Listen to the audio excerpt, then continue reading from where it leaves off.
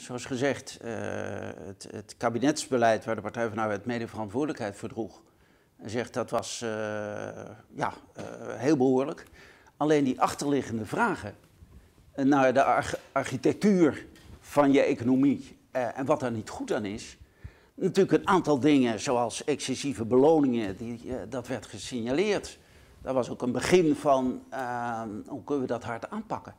Maar het heeft op mij erg de indruk uh, gemaakt van een partij die het eigenlijk ontwend was om over die wat bredere vraagstukken uh, van de sociaal-economische orde te praten.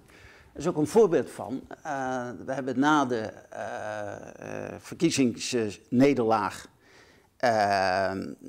van 2006 hebben we een commissie Vreeman gehad. Uh, die zei, wat was er nou niet goed gegaan en uh, wat zou dan moeten verbeteren? En uh, een van de conclusies was, we moeten veel sterker het debat gaan voeren en daar ook opvattingen uit laten voortrollen over hoe onze sociaal-economische orde in elkaar steekt. Nou, eigenlijk, dat advies is overgenomen. Het is door het partijbestuur, door de fractie, door het congres allemaal aanvaard.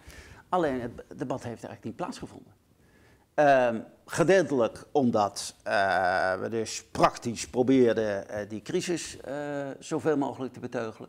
Maar ik denk ook omdat we het ontwend waren om daar echt serieus grondig over te praten. En misschien ook wel omdat het niet helemaal goed uitkwam.